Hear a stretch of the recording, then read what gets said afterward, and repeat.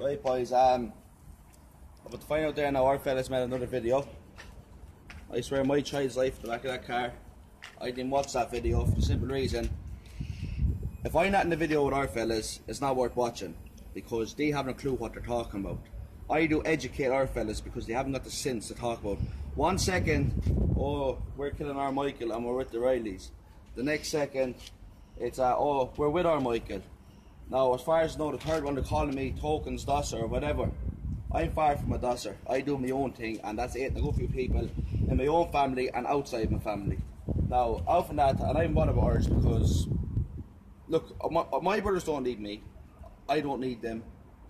Blood, sick, and water. We, out, if we got in trouble tomorrow morning, my brothers will come for me. I know that, and I, I'd be there for them. But I don't need them. They don't need me. Simple as. We're all, we're all too brazen for each other. Now, gone to the fact of Pat's Tom needs me and I need Pat's Tom. This is how me and Pat's Tom's in this argument together. Martina's his daughter-in-law. That's my sister-in-law. Me and Pat's Tom's John is my two sisters.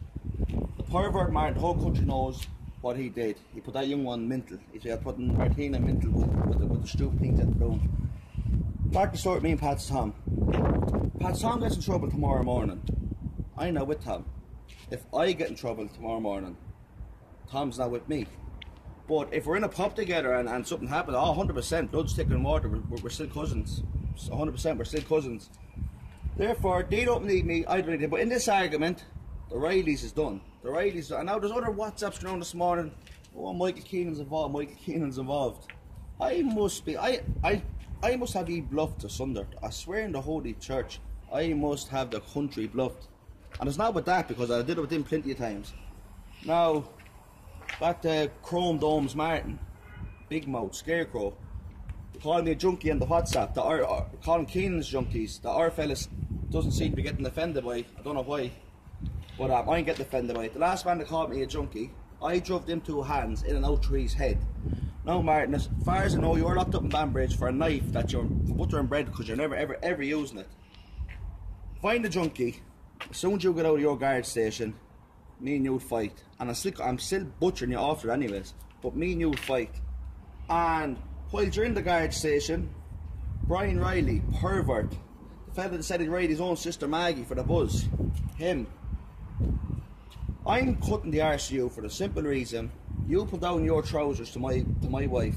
You put down your trousers to my wife. And when I stood, I swear in my child's life, when there was to go to 10 or 15 of ye, with slash hooks, cans of beans. We call it the Heinz again. Bean cans.